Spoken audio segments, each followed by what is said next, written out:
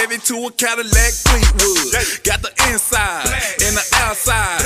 Thinking about a Maserati, but I'd rather ride AC blow like wind chill.